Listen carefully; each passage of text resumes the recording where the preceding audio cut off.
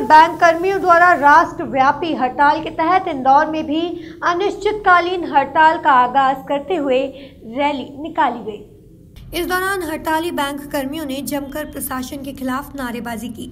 आपको बता दें कि United Forum of Bank Unions के आह्वान पर देश भर के 10 लाख बैंक कर्मचारी एवं अधिकारी 27 माह से लंबित वेतन पुनरीक्षण समझौता एवं संबंधित मुद्दों के शीघ्र निराकरण की मांग को लेकर 31 जनवरी एवं 1 फरवरी 2020 को दो दिवसीय तथा 11 से 13 मार्च त्रिदिवसीय एवं 1 अप्रैल 2020 से अनिश्चितकालीन राष्ट्रव्यापी हड़ताल पर जा रहे हैं, जिसका आगाज़ शुक्रवार सुबह एक रैली के द्वारा किया गया है।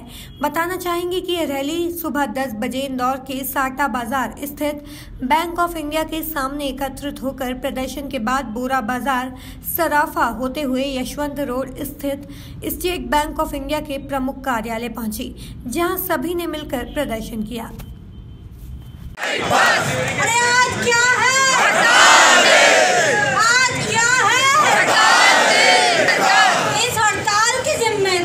ये सरकार ये सरकार। अरे हम जो पेंशन खोलेंगे।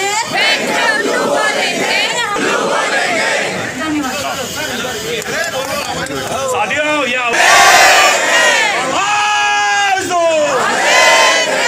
ये हिटलर शाही। नहीं चलेगा